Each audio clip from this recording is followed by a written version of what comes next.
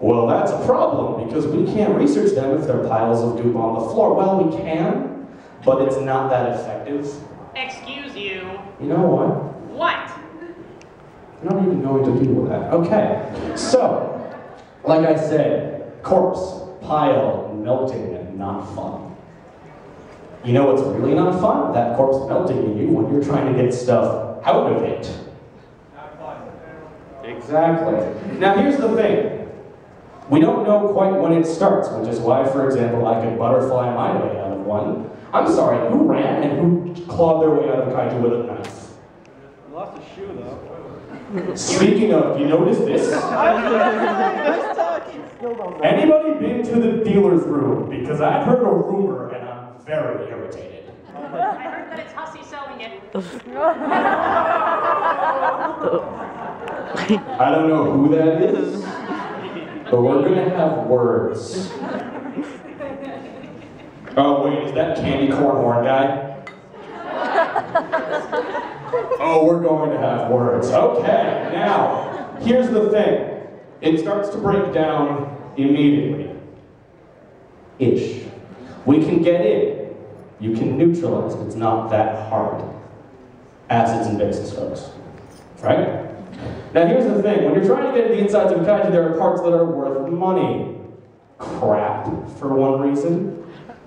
Phosphorus. Let me, let me just... Field. All of it. Just done. You try doing that with your dogs. That doesn't work, folks. Now, here's the thing. There's another thing that, uh, let's see, who could really use it? Probably these two in the brightly covered overall things? Bone powder. A little bit of a mamma mia over there, okay? You know what I'm saying? All right, now here's the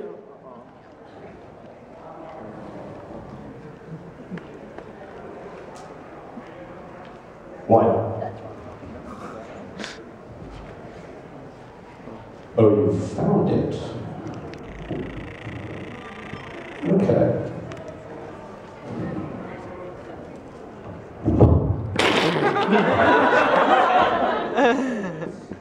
Thank you.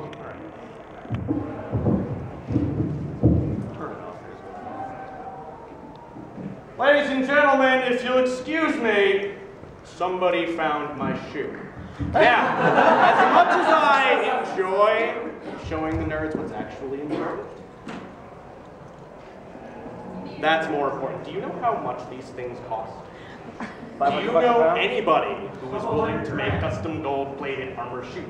I wouldn't mind a pair of goddamn shoe, you one-eyed bitch. Gold's not baked with Ooh, I got her, boss. Him. Do I look like a girl? Oh!